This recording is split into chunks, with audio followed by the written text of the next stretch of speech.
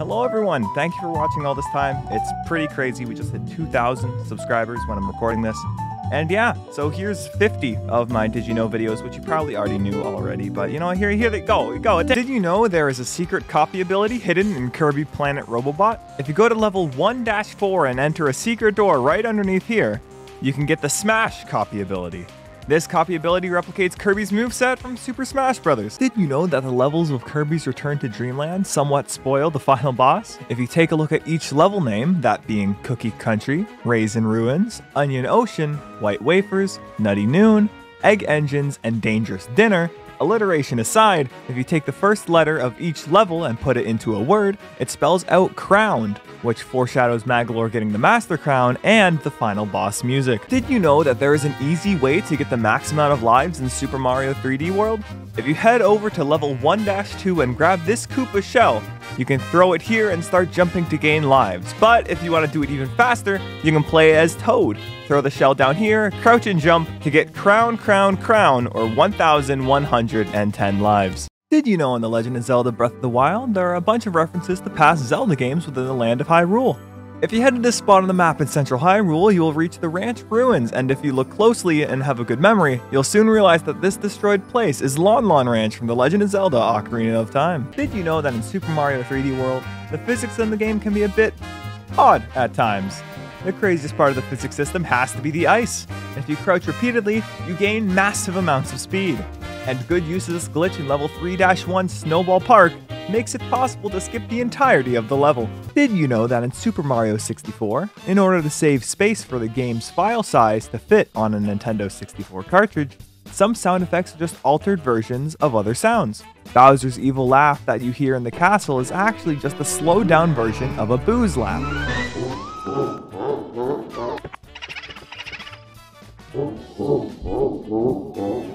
And the baby penguin's footsteps? Well, they're car noises. Did you know that in Super Smash Bros. Ultimate, one of Mythra taunts is a reference to a really funny moment in Xenoblade 2?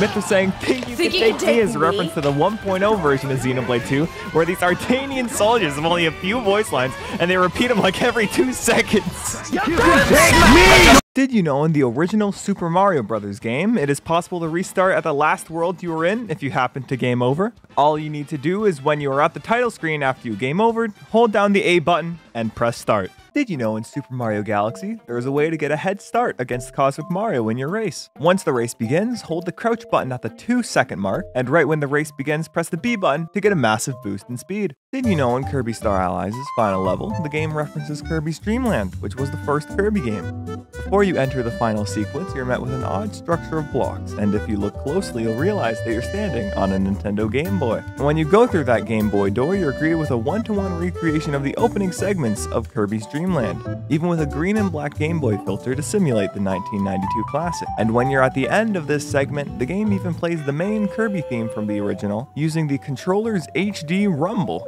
Did you know that controllers could even do that? Did you know that in Super Mario 3D World plus Bowser's Fury, if you need a Super Bell while Fury Bowser is rampaging, you can simply ride Plessie through Fury Bowser's legs to get one for free. Didn't you know that in Xenoblade Chronicles 3, the Sword Fighter class's talent art, Overclock Buster, is a reference to two separate things. The word Buster is a reference to other big moves in the series like Monado Buster from Xenoblade 1 and Lightning Buster from Xenoblade 2, and the word overclock is a reference to how your Nintendo Switch overclocks itself to the brink of explosion trying to play this absolute masterpiece of the game. Did you know in the Nintendo Switch version of Super Mario 3D World, not only do the characters move faster than the Wii U version, but you can now do a dive in the air. By pressing the crouch and run buttons at the same time, you can perform a dive, which is real helpful when you need a bit more height. Did you know that in Super Mario Galaxy 2, when you reach the Special World's third galaxy after getting 80 stars, you'll realize that Twisty Trials Galaxy looks rather familiar if you've played a certain other Mario game. That's because Twisty Trials Galaxy is a recreation of Ricco Harbor's fourth mission, The Secret of Ricco Tower, from Super Mario Sunshine.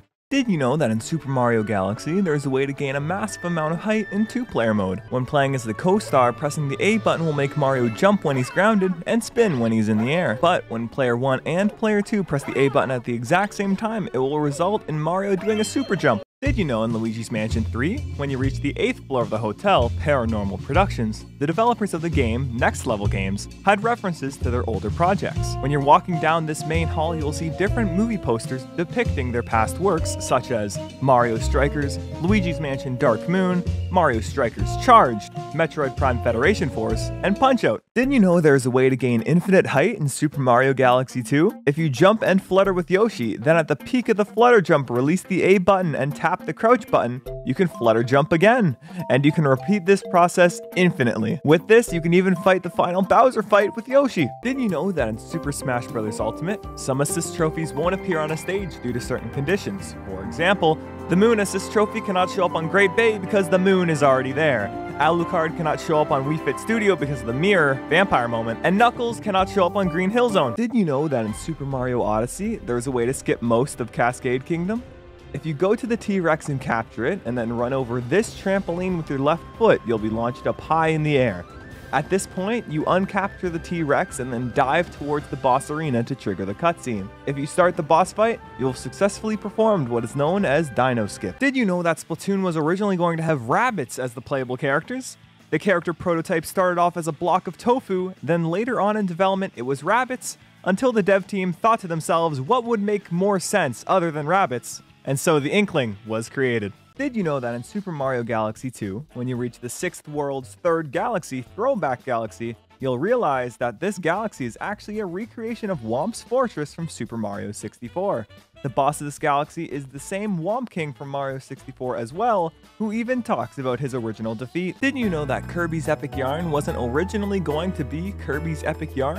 The developers of the game, Goodfeel, were originally creating the game with Prince Fluff as the main character, and it was originally called Fluff of Yarn. Until in 2009, Nintendo proposed that the game be included in the Kirby series and have Prince Fluff as player 2. Did you know that Super Mario Galaxy 2 was originally planned to be an expansion of the first game, titled Super Mario Galaxy More and then Super Mario Galaxy 1.5 later on in development? The game was originally just going to include cut content from the original game like Yoshi, but the developers had too many ideas to fit into an expansion and decided to make a full-blown sequel. Did you know that in Super Mario Galaxy 2, the Stone Cyclone Galaxy is pretty familiar to fans of the first game, and that's because this planet is the exact same planet used in the third mission of Super Mario Galaxy's Beach Bowl Galaxy. Did you know that in Super Mario 3D Land, when you reach the final Special World, Special World 8, the song playing in the background can sound familiar? Do you recognize it?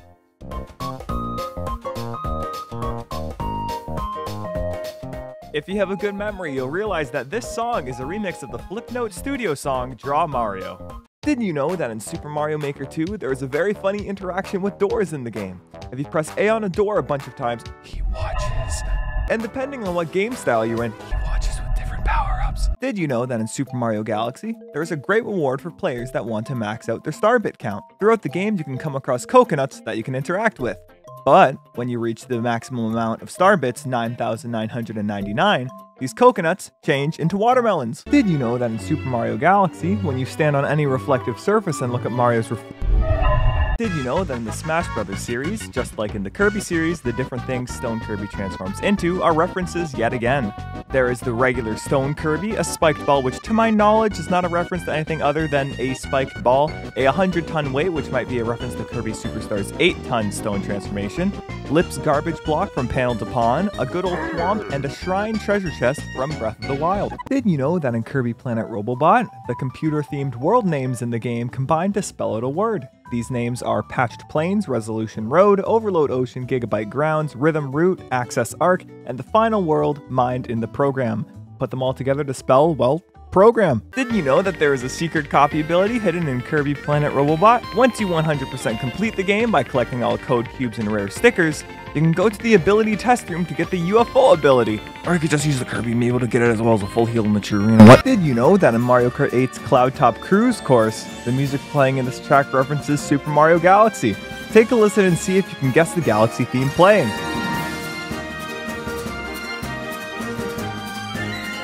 Ah, Gusty Garden Galaxy. What a jam. Did you know that in Kirby's Dream Land for the Nintendo Game Boy, there is a great little detail hiding in the game's seemingly simple pause screen? If you wait long enough on the pause screen and then look at Kirby, Did you know that in Celeste, if you go to chapter 4 and reach this specific area, you can find a peculiar looking white block, and if you hold crouch on this block, you go into the background. This is a reference to Super Mario Bros. 3, where you could do the exact same thing on the exact same block, which in itself is a reference to how the entire game is a stage play. Did you know that in Mario Kart 8's Mario Circuit track, there is a great reference to an old Nintendo toy? If you look at the anti-gravity section of the track, you will see that it's being held up by pillars that look surprisingly similar to the Ultra Hand, which is a toy that Nintendo used to make and surprisingly enough had its own Club Nintendo game on the Wii. Did you know that in Kirby and the Forgotten Land, there is a way to get out of bounds in Natural Plains' fourth stage, A Trip to Alivel Mall? Make your way to this conveyor belt section with the toy hammer copy ability and perform the hammer bounce jump shown in this video to get above the ceiling. Now you can take a good look at the background you never see normally. Did you know that in Kirby's Dream Buffet, the color customization options reference Keeby, which is the name given to the second player yellow variant of Kirby who was originally seen in Kirby's Dream Course for the Super Nintendo? and was the color variant that Mario creator Shigeru Miyamoto originally wanted Kirby to be before HAL Labs decided on pink. Did you know that in Kirby Triple Deluxe, the worlds in the game all combine to spell out a word? The names are Fine Fields, Lollipop Land, Old Odyssey, Wild World, Endless Explosions, Royal Road, and if you include the name of the final world, Eternal Dreamland, it spells out Flowered. Did you know that in Luigi's Mansion, Dark Moon, when you enter the elevator in Gloomy Manor, the music playing can sound familiar? Do you recognize it?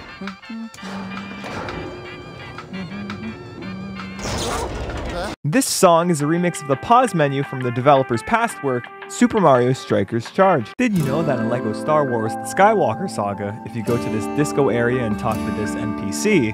Now this is a party! I'm really feeling it! Wait a minute. So that's how it is. Did you know that in Mario Kart 8, whenever you're on a racetrack with Goombas, besides the fact that these Goombas are extremely large, they will look towards the player whenever they get close. Did you know that in Kirby Star Allies, instead of the world name spelling out a word like the previous games in the series, the level names in the second world, Planet Popstar, do instead? The level names from first to last are Friendly Field, Reef Resort, Inside Islands, Echo's Edge, Nature's Navel, Duplex Dream, and Sacred Square. Taking the first letter of these levels, they spell out friends. I don't have any. Did you know that in Mario Kart Wii, once you reach the Rainbow Road track in the Special Cup, as you're racing through the course, you might have noticed the music sounding a bit familiar. Can you recognize it?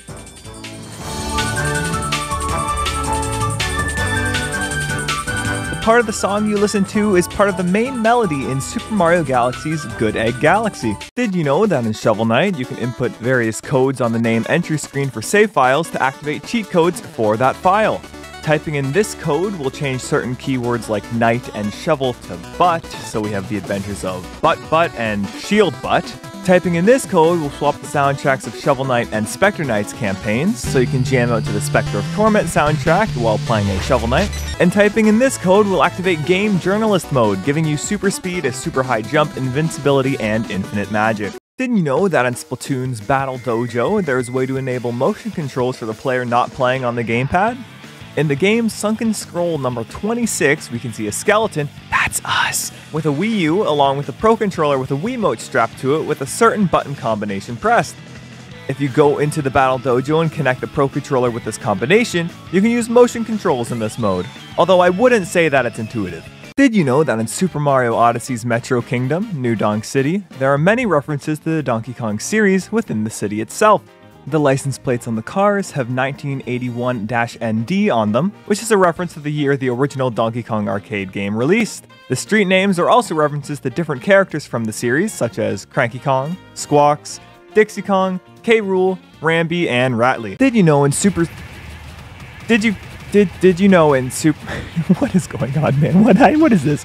What how did this even how does this even happen? Did you know that in Super Mario 64, once you beat the game and see the end credits, if you happen to have a second controller connected, you can move the joystick to move the camera in the credits. Did you know that in Super Mario Sunshine, the paintbrush that Bowser Jr. uses was made by Professor E. Gadd from Luigi's Mansion, who also made the Poltergust and FLUDD. But in Super Mario 3D World plus Bowser's Fury, Bowser Jr.'s paintbrush no longer has the E. Gadd logo, so what happened there? Huh? What, happened, what happened there? Did you know that in Kirby and the Forgotten Land, just like the previous games in the series, the different world names spell out a phrase? You have the Natural Plains, Everbay Coast, Wandaria Remains, Winter Horns, Original Wasteland, Redgar Forbidden Lands, and Lab Discovera, which altogether spell out New World. Did you know that Super Mario Bros. 2 was the first game to introduce Shy Guy, and ever since then, Shy Guy has shown up in many different Mario games? But he hasn't gotten any design updates, and that is because he is perfect and without flaw. Did you know that in Xenoblade Chronicles 3, when Noah is using his sword Lucky 7, because the sword is so powerful, if Noah doesn't want to kill the enemies you are fighting, he'll use the dull edge of the sword to not completely obliterate the enemy. Did you know that there is a way to skip the entire Moon Cave segment in Super Mario Odyssey? Now you may be asking, but cdotkom, I don't want to skip the Moon Cave. You do. Make your way over to the Sphinx and jump onto its head. Do a ground pound jump, throw Cappy, bounce off Cappy, and maneuver to this exact spot on the wall. Then hold left to wall jump off of the other wall and dive over to skip the cave completely. Did you know that in Persona 5, when you start a battle, you can hear some nifty jazz music playing in the background? This is a reference to how Persona 5 created the entire concept of jazz music. Dang, this kind of giving me Persona vibes. Did you know when you beat the post-game boss of Kirby in the Forgotten Land, you get a copy ability blueprint for the Last chance for spoilers, get out while you still can. Okay. Morpho Knight's Sword, which has some extra attacks that are different from the regular sword attacks. You can hold the guard and attack buttons on the ground to release Phantom Forgos that chase down enemies, and hold the same buttons in the air to perform Morpho Knight's wave attack. Did you know that in Donkey Kong Country Tropical Freeze, the developers of the game, Retro Studios, hit a reference to their previous work on the Metroid Prime series? If you head over to level 1-B and look in the background, you can see Samus's gunship. Did you know that in Kirby Star Allies and most other 2D Kirby games, the stone ability will transform Kirby into a stone sculpture referencing the series and developers? These transformations are regular stone Kirby, King Dedede from Dedede's Drum Dash, a brick block from the Mario games, the Robobot armor, the Friend Circle, Kirby doing his victory pose, a star block, the oddly specific Tuna Sword from Return to Dreamland, Qbby from Box Boy with Mount Fuji in the back, Taranza and Sectonia from Triple Deluxe, Dark Nebula from Squeak Squad, Grill from Superstar Stacker and Brobo from Blockball, the Macho statue, Magolor from the Kirby Clash games, Kirby's 25th anniversary logo, the HAL Laboratory logo, Susie and Ribbon, Captain Vul and Meta Knight from Superstar, Marx from Superstar, Rick, Kine, and Coo, Gooey, Magolor firing the Star Cutter, Adeleine and Ribbon, Meta Knight, King Dedede and Bandana Dee, the Three Mage Sisters, Dark Meta Knight, Daroach, Susie singing from Robobot, Taranza with the Dreamstock, and if I missed one, I swear to